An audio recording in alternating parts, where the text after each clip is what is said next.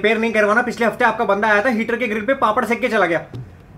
अरे छह सौ रुपए की चीज़ को क्या रिपेयर करोगे आप? आप रिप्लेस करवा के दो वारंटी पीरियड में। मेरी बात करा। आप मेरे एग्जीक्यूटिव से बात कीजिए।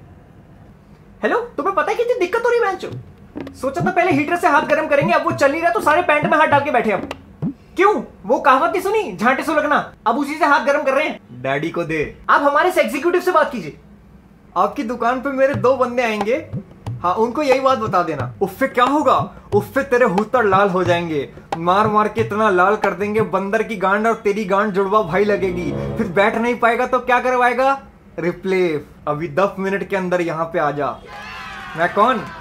पीठ पे ना मुक्का मारू, ना नापू मैं गुद्दी। बातों पे ही बुन फाड़ दू, नाम है मेरा। हेलो? हेलो? हेलो भैया? एक तो ठंड में